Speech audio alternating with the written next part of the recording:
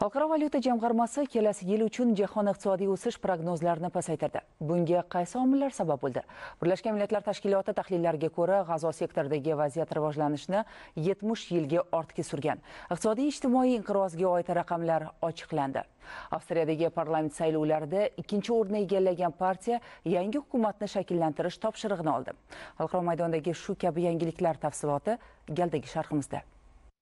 Xalqaro valyuta jamg'armasi kelasi yil uchun jahon iqtisodiy o'sish prognozlarini pasaytirib, ehtimoliy xatarlardan ogohlantirdi. Bu bugungi global chaqiriqlar inqirozlar bilan bog'liq bo'lib, yangi hisobotda ishlab chiqarish hajmi iyul oyidagi kutilmalardan 0.1 punktga kamaytirilib, 3.2 foiz darajasida belgilandi. Inflyatsiya 4.3 foizgacha sekinlashishi taxmin qilinyapti. Ekspertlar xulosasiga ko'ra, o'sish bir necha yil shu zaylda davom etib, mamlakatlarda kambag'allik darajasini qisqartirish va iqlim o'zgarishlariga qarshi kurashish uchun resurslar ham qisqarib ketadi. Mintaqaviy nizolar sabab savdo zanjirida yuzaga keladigan uzilishlar jahon iqtisodiyotiga salbiy ta'sir ko'rsatadigan faktorlardan. Yevro hududda ham o'sish ko'rsatkichlarining bir o'nda ikki foizga kamayishi ko'proq germaniya va italiyada ishlab chiqarish hajmi qisqarishi bilan izohlanmoqda. Top iqtisodiyotlardan xitoyda ko'chmas mulk sektoridagi zaiflik va iste'molning pasayishi ham avvalgi besh foizlik kutilmani to'rt o'nda ikki foizga tushishiga sabab bo'ldi. Jamg'arma tahlilchilari amerika qo'shma shtatlari borasidagi baholarni ikki o'nda ikki foizga ko'tardilar.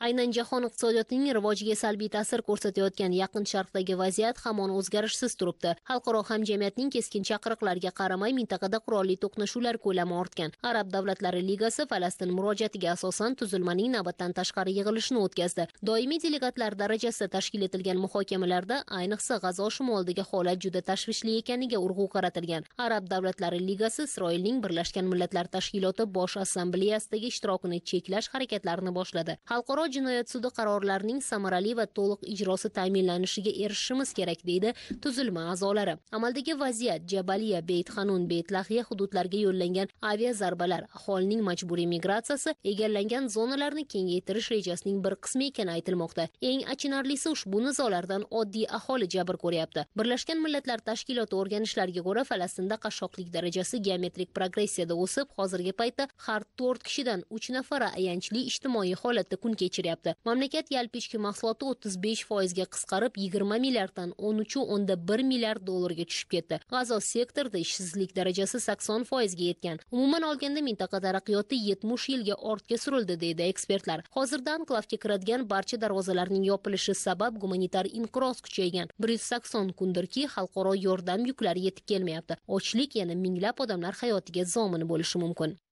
Avstriyadagi parlament saylovlari yakuniga ko'ra yangi hukumat shakllantiriladi. Amaldagi federal kansler bu borada mamlakat prezidenti aleksandr van der topshiriq olgan. Uning boshchiligidagi konservatorlar partiyasi saylovlarda ikkinchi o'rinni egallagandi. Muammo shundaki birorta partiya eng ko'p ovoz to'plagan o'ta o'nglar yetakchisi bilan birga ishlashni istamayapti. Van der kanslerni zudlik bilan sotsial demokratik partiya faollari bilan muzokaralarga kirishishga chaqirgan. Kuzatuvchilarning fikricha saylovda yigirma sakkiz o'nda sakkiz foizlik ustunlikka erishgan ozodlik partiyasi konservatorlarni ikki yarim foizga ortda qoldirdi. Ushbu siyosiy guruh yetakchisi gerbert kikl federal kansler lavozimini egallashiga uning tarafdorlaridan boshqa barcha deputatlar qarshi chiqyapti. Bu so'nggi sakson yilda ilk bor kuzatilayotgan holatdir. Amaldagi hukmron partiya saylovlarda bir yuz sakson uch o'rindan to'qson ikkitasiga egalik qilgan.